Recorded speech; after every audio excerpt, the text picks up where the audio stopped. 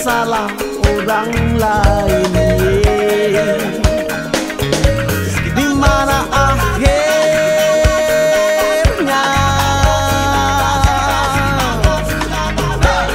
Pusing salah ya pusing salah ya ya ya. ya.